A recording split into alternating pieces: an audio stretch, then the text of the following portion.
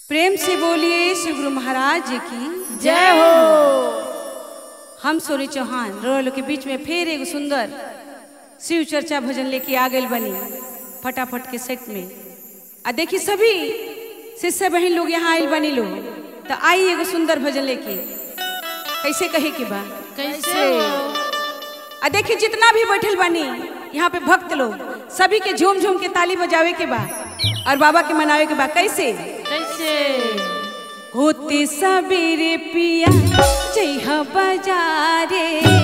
अछत चंदन औरी भंगिया लियावे।